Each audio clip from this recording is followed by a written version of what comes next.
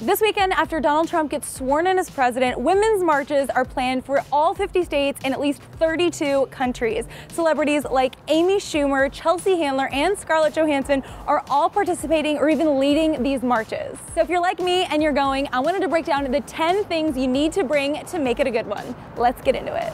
Number one, a way to charge your phone. I'd recommend grabbing a mobile charger and a USB cord. I got this mobile charger at Target for $5 and it saved me so many times and a wall plug is not a bad idea either. Number two, an intention. We're there to make our voices heard, so think about what matters to you, whether that's racial equality, equal pay for equal work, or reproductive rights, and go for it. Number three, comfortable, warm clothing. I'm talking flat shoes like sneakers or comfy flat boots. If you're in a place where it'll rain, get the right shoes for that too because nobody wants soggy shoes. And layers, get that hat, gloves, and extra hoodie under your jacket if it's cold where you are.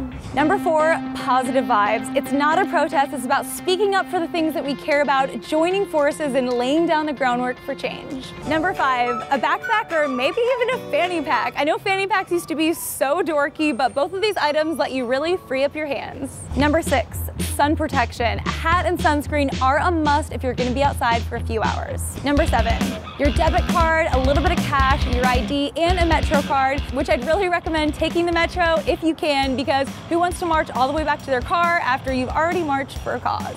Number eight, water and snacks. You wanna feel energized, so bring a granola bar or nuts or whatever you like.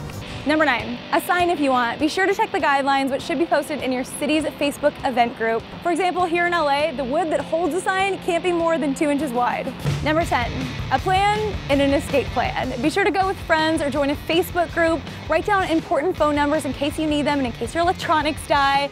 Write down the hotel address where you're staying for the same reason. And be sure to just pay attention to see if there's a good spot to catch an Uber in case you need to get out of there. Just be extra prepared. All right, I hope you guys found these tips helpful. Let me know in the comments below, are you planning on attending the Women's March? And fellas, don't be shy, you guys can join in too.